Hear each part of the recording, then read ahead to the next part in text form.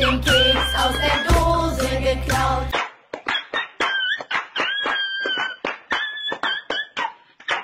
Oh, Hallöchen, Popöchen. Ich heiße euch herzlich willkommen zum ersten Deckprofil seit langem mit wirklich, wirklich schlechten Tauen. Äh, woran liegt das, lieber Herr Gurkengott, lieber Herr, lieber Herr YouTuber, lieber Herr, der mit den Abonnenten, kommt auf, auf meinem Discord vorbei, dort heiße ich so derzeit. Und, ähm, ja, wieso kam so lange kein Video? Nun, erstmal, erstmal, äh, wo fange ich am besten an? Warum kam so lange kein Video? Ich habe einfach keine Motivation. Ich, ich mache es gerne, Routine in meinem Leben zu haben. Ich liebe es, außer Haus zu kommen und, ähm, das ist gerade alles nicht gegeben, okay? Das, ich, ich, ich leide wirklich darunter, unter diesem Lockdown. Aber ich meine, ich halte mich wenigstens dran im Gegensatz zu... Ach, immer. Ähm, wieso kam so lange kein Video? Weil ich, ja, ohne Motivation nicht wirklich arbeiten kann. Ich möchte mich nicht hierzu zwingen. Ich habe mich noch nie dazu gezwungen. Das ist auch der Grund, warum ich jetzt nicht weiter im Sponsoring hinterhergerannt bin, weil ich nicht äh, mich dazu zwingen will, nicht, mich, mich nicht dazu zwingen müssen will, Videos zu machen. Und ähm, ja, genau, das ist es. Ich mache Videos, wenn ich, wenn ich lustig bin, wenn, wenn, ich, wenn ich Lust darauf habe, Videos zu machen. Und nicht, wenn ich mich dann dazu verpflichtet fühle. Dementsprechend dachte ich mir mal, hey, ich habe mich dazu verpflichtet gefühlt, ein neues Video zu machen. Also hey, und ein bisschen Lust habe ich sogar. Also heute haben wir Dragon Maid und äh, das Deck ist ziemlich underrated. Ich muss sagen, es ist eins meiner Lieblingsdecks geworden. Ja, das sind Ultra Post Leaves. Ich habe sie echt unterschätzt. Okay, die sind, die sind im Nachhinein doch echt schon ziemlich gut, ne? Ich, die kommen, kamen eigentlich mit einem Mistgrad, wie man hier sehen kann, aber merkt man nicht beim Mischen, rutschen nicht in der Hülle rum. Die sind äh, seitenmäßig, seitenmäßig habe ich mir gar nicht angeschaut. Sind alle Turnierdecke halt tatsächlich. Die sind seitenmäßig alle, ja, alle ziemlich eben. Also gefällt mir. Gefällt mir wirklich gut. Ich habe mir drei Packungen gleich davon gekauft und ich bin begeistert, ehrlich gesagt. Ich habe Ultra Pro viel schlechter in Erinnerung. Du kannst auch damit voll toll Wusch machen und das ist toll. Äh, an dem Punkt muss ich definitiv einen Timestamp einfügen. Ich wollte eigentlich am Anfang des Videos sagen, yo, ich gebe euch einen Timestamp. Das habe ich dann irgendwie verhauen und jetzt rede ich doch so viel. Ähm, ja, wie dem auch. Dragon Maid mache ich sehr, sehr gerne. Ich muss aber gestehen, ich habe jetzt nicht mehr so viel Bock drauf. Ich habe es jetzt wirklich, wirklich lange ausgiebig online gespielt und immer, weil mir Hospitality gefehlt hat äh, konnte ich es halt nicht spielen. Und Chamber habe ich dann im Endeffekt sogar für über 100 Euro das Playset, äh, nicht das Playset, nicht nur das Playset, zusammen mit Ghostspell gekauft. Im Endeffekt war es richtig, weil ich damit Scheiß 4 Plus gemacht habe, aber wie dem auch sei. Warum ist das Mikrofon scheiße? Nun, ich kam noch nicht mal dazu, das alte wegzuschicken. Ich habe noch nie ein Paket verschickt und ich habe mich deswegen immer weiter davor gedrückt. Heute werde ich mal dieses blöde Etikette ausdrücken. Das ist anscheinend eine vorfrankierte Briefmarke und das dann hoffentlich morgen schon zur Post bringen, damit ich auch morgen Kartenmache-Kram weghauen kann. Schaut bei mir auf Kartenmache vorbei, schaut bei mir auf Discord vorbei, schaut bei mir auf Twitter vorbei, abonniert den Kanal für gute Videos. Fangen wir an. Dieses Deck hat getoppt in der OCG, dort spielen sie es allerdings ein bisschen anders als hier, dementsprechend äh, legen wir los. Wir haben hier den Schallente Field Center und wir steigen jetzt einfach mal ein. Wir spielen dreimal Küchen-Drachenmädchen, die uns eine Dragonmaid sucht, wenn sie genormt oder gespecialt wird und danach ein Dragonmaid-Monster abwirft. Warum ist das gut? Das sucht uns ein Dragonmaid, ist ein Winter Out, ist ein Vanity's Ruler Out, wobei viele Leute nicht mehr Vanity's Ruler spielen. Ich spiele immer noch die Pink Hack, um Vanity's Ruler zu outen und Winter auch, weil das outet gleichzeitig auch Winter und das ist nicht schlecht, so ein Searchable-Dings da zu haben. Also Kitchen, outed Stuff. Ist cool, ist cool. Gerade Heroic Second habt ihr eine höhere Wahrscheinlichkeit, das zu sehen. Ich glaube in 35, 37 Prozent sie zu sehen. Plus wir spielen Upstart, also wuh, nicht schlecht. Äh, dreimal Parler, die erste von den beiden Two-Card, äh, One-Card-Kombos. Äh, One-Card-Combo heißt in dem Deck übrigens Seal Pass. Denn Seal, das klingt jetzt nicht stark, aber das ist so eine mächtige Interruption und es gibt uns so viele Follow-Up-Plays und das ist einfach insane. Und Parler ist eine der Karten, die genau das enabled. Fun Fact, weil eben jede Dragon Maid einfach in einen äh, Striker Dragon konvertiert werden kann, finde ich Dragon Maid Dogma eigentlich auch ziemlich cool. Und ich glaube, ich werde dazu gleich. Das ist eine 60-Karten-Variante, die ich deutlich lustiger zu spielen finde als das hier jetzt. So, das ist der 40 Karten relativ Standard Dragon Maid. Und ähm, deswegen werde ich wahrscheinlich gleich im Anschluss dazu hier ein Deckprofil von aufnehmen. Wenn ich, ich mag die 60-Karten-Variante deutlich lieber allgemein. Ich finde diese 40 nicht mehr so interessant zu spielen. Ich meine, sie ist interessanter als Altergeist oder sowas. So ein Altergeist ist schon relativ cool. Ich finde das Deck definitiv cool, aber 60 Karten legt nochmal eine Schippe drauf. Aber ich bin auch allgemein in letzter Zeit ein Fan von 60 Karten. Also ja, Parler ist klar. Ich rede wieder viel zu sehr an der Karte vorbei. Parler ist gut. Parler war mal teuer und äh, ja, wer Dragon Link mäßig was spielen will, klar, warum nicht. Äh, drei Shame, oh, sorry, erst Nurse. äh, eine Nurse. Ist, braucht ihr? Braucht ihr auf jeden Fall. Ihr könnt zwei spielen, macht aber an sich als Opener überhaupt nichts. Ab Turn 3 wird die Karte extrem relevant, aber also, ja, ihr müsst pick your poison. Ich, hab, ich bin einfach bei einer geblieben, um mehr Platz zu haben. Ihr könnt auch den Upstart droppen für die zweite. Ich finde deiner 40 Varianten in der 40-Variantenkarte. In der 40-Karten-Variante reicht Nurse vollkommen aus auf 1, ehrlich gesagt. Also, wow, das, das finde ich cool. Und äh, drei Chamber Dragon Maid. Ihr braucht wirklich drei, es tut mir so leid, ne, für alle, für all die Budget-Spieler. Ja, die Karte war so lange bei 5 Euro und ich dachte, ich weiß noch, wie ich zu Anime Palace erzählt habe, so als Edco jetzt irgendwie eine Woche draußen war, ja, ich muss mir noch Chambers holen, habe ich ihm gesagt, jo, die wird wahrscheinlich, oder zwei Wochen, äh, die wird wahrscheinlich nicht äh, viel weiter steigen.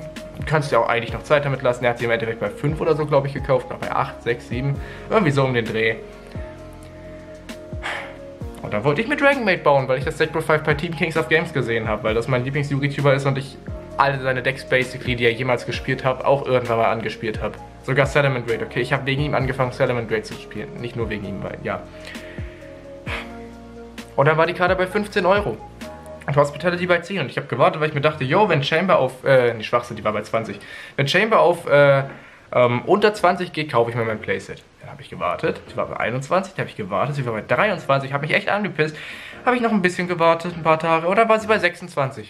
Und dann irgendwann war es mir echt zu blöd. Sie war dann irgendwie stabil bei 26, 27. Ich habe sie dann mein Playset bei 21 bekommen. Ja, das ist, äh, oder 22 glaube ich sogar, das ist furchtbar. Ne? Jetzt aktuell ist sie bei 30, das Stück, wenn ihr ein Playset haben wollt. Ihr braucht ja ein Playset, logischerweise. Das tut mir so leid. Und das ist wirklich nur, weil Dragon Maid so gut ist in OCG. Im TCG macht es ein bisschen was, aber ja, ein paar Tops halt in der Handvoll. Im OCG ist es Meta, straight up. Aber die haben ja auch Cross of Designator und Maxi und deswegen ist das allgemein besser. Aber ja, das ist mehr so ein Bild, der Richtung OCG geht tatsächlich. Also weniger, ein bisschen mehr weg vom TCG. Ich bin kein Fan von Black Metal Dragon, obwohl es halt nice wäre als extra Starter. Äh, aber wie gesagt, ja. Ihr braucht drei Chambers, tut mir echt leid. Ähm, ja.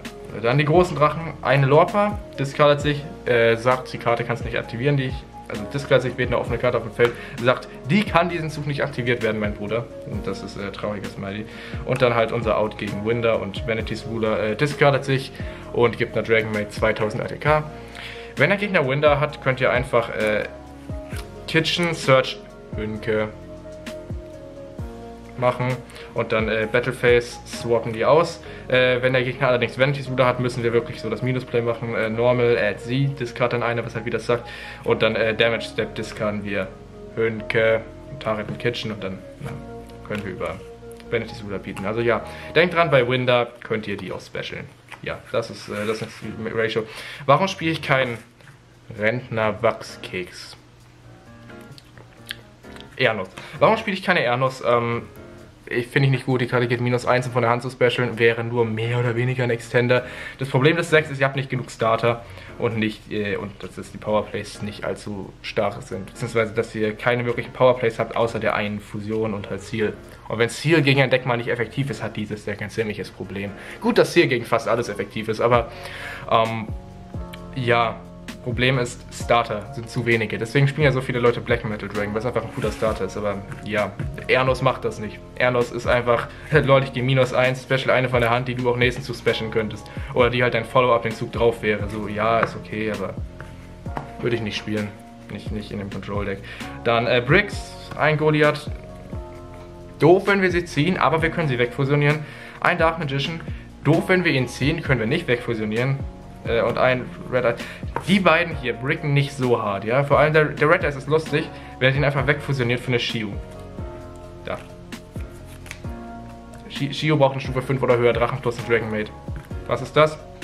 Was ist das? Deswegen bricken die halt weniger. Gerade Goliath, äh, bei denen wäre ich eher ein bisschen vorsichtig, die wegzufusionieren. Wenn ihr gegen was, äh, was spielt mit vielen Handtraps oder was noch Established Sport hat und ihr habt noch nicht das Ganze weggechonkt, dann würde ich mich nicht unbedingt trauen, in Anaconda zu gehen. Aber das ist basically Common Sense, wenn ihr gegen, wenn ihr ein Dragoon-Deck spielt. Also ja, die drei Brick spielen wir und dann eben Handtraps. Drei Ash, drei Bell. Bell ist einfach der Star dieses Format und das Format, ja, und drei Impermanence. Habe ich jetzt nicht dazu gelegt.